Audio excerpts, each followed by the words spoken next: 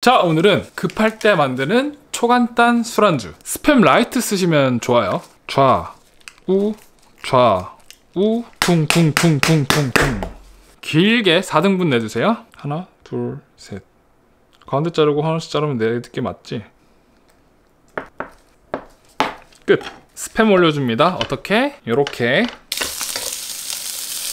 모서리끼리 붙여주고 칸칸마다 식용유 누구나 주머니에 있는 달걀 4개.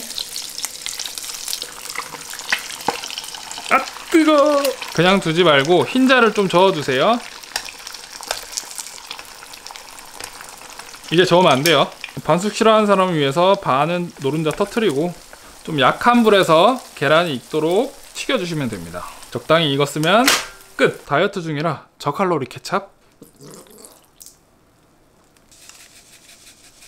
스팸 후라이입니다. 불닭볶음면 하나 준비해주세요. 기름 조금만 더 넣고 면을 미리 올리세요. 기름 골고루 먹여주시고 넓게 펼쳐주세요. 안 뒤집을 겁니다. 바닥은 바삭하게 위는 촉촉하게 피자 치즈.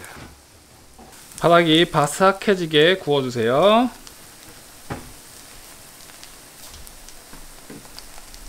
자 바닥이 딱딱해졌으면 됐어요. keep해둔 후레이크 뿌려주면 끝! 아 쉽다.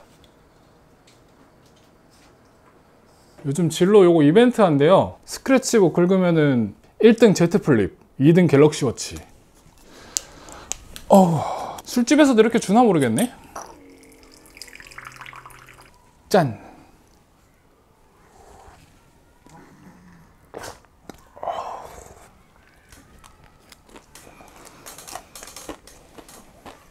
음, 바닥은 바삭하고 위는 촉촉하고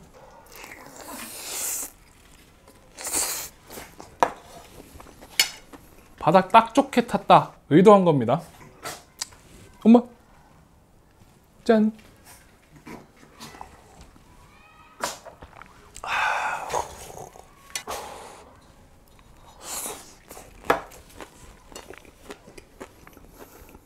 누구나 아는 맛 계란에 따로 간 안 했으니까 계란 후라이랑 스팸이랑 이렇게 싹 싸 먹으면 돼요.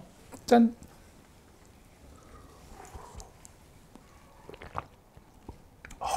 야 오늘 괜찮은데? 주의하실 점은 클래식으로 하면 좀 짤 수도 있어요. 햄에 좀 덜 짠 햄이라고 적혀 있는 거 그런 걸로 하시는 게 좋습니다. 계란 후라이에 스팸에 후추에 케찹 뿌렸는데 맛이 없을 수가 없죠.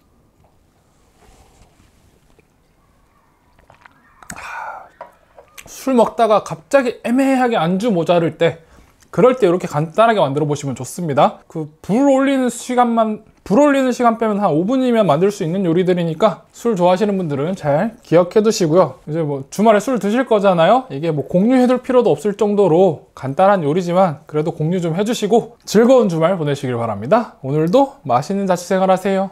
빠이! 저도 주말에 놀러 가요